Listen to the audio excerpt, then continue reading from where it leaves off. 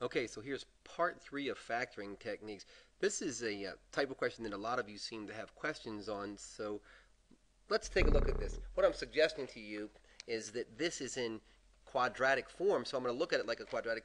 But before we skip on to that, I just want to be honest about it and tell you I went through all the, the normal things that I do. I look for greatest common factor. I have 4, 39, and 10.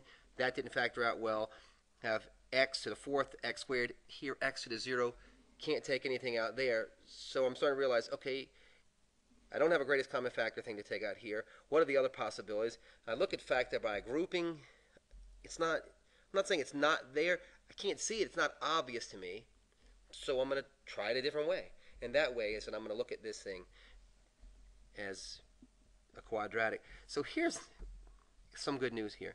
Uh, one, the, the first piece of really good news is that while 4 is not prime, it, it has a limited number of factors, and I guess that's obvious, but a smaller number of factors. And then also I look at 10, and, and it doesn't seem to be, I don't know, it doesn't seem to be too bad, so I'm kind of hoping for the best here. So I'm not going to go through everything I tried, but I did try 2x squared. So as I put this together, I did try 2x squared and 2x squared here. This does work, of course, because if I multiply this times this, I do get this back.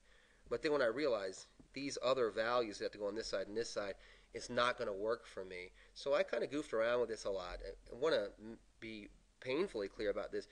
That you know, we're not kind of messing around with little kid math anymore. We have to kind of think our way through this. It's a little bit of a game and a puzzle, and we just have to keep working. So as I tried all these different ways, I decided I'm going to try 4x squared times x squared. And that's a possibility, isn't it? This is kind of the clue right here that kind of started to help me to get it because realize uh, this number here times this number over here is going to have to be a negative 10, right?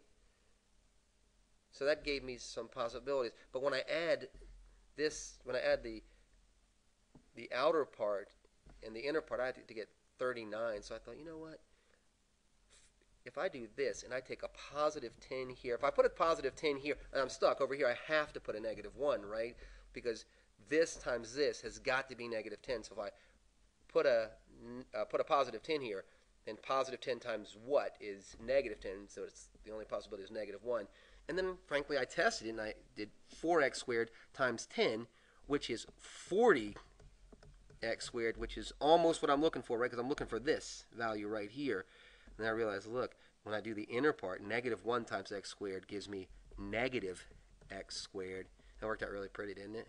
I wish I could have uh, said that it just came to me naturally and I had to do any work, but took some work, took some effort. Well, I was really happy. I was really proud of myself and wanted to call my mom and, and brag, and hopefully she'd make me cupcakes or something. Uh, but it read back here and it says completely factor, or factor completely would have been a better way for me to have written that.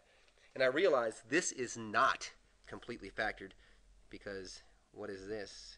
And I'm working on it. I'm working on really getting better at going back and checking stuff. And I did. I went back and I checked this. And here's my question to you, which is the same question I asked myself. I asked myself, so, can that be factored? And I replied to myself, why, yes, it can. And I believe, you guys, that it can be factored this way. Can you recognize this pattern? 4 is a perfect square, x squared is a perfect square, and 1 is a perfect square separated by a negative sign. This is difference of squares. So difference of squares says that a squared minus b squared can be factored out to a plus b times a minus b. So I have to go back and ask myself, well, what is 4x squared as a square? And 4x squared is 2x, the quantity squared, isn't it? And this is 1 squared. So I have to look at it this way. And remember, that exponents, say it again, exponents are distributable over multiplication. So if I distribute this, this goes to 2 squared, and 2 squared is 4, and it also goes to this x, and x squared certainly is x squared. So you have to keep up my factoring, and the factors come out to be x, 2x minus 1 times 2x plus 1. If you want to check that real quick, 2x times 2x is 4x squared. 2x times positive 1 is positive 2x. Negative 1 times 2x is negative 2x. And positive 2x minus 2x is 0x. Negative 1 times positive 1 is negative 1. So that all came together. Remember, don't forget to gather all your factors. Sometimes people tend to leave the other ones straggling. So Are these the solutions? No, friends. These are the factors. So, good work. I'm really proud of you. I'm begging you. Keep work, and the more of this you work on, the harder you work on this, the more you persevere, the closer you are to becoming the genius that I know you're meant to be.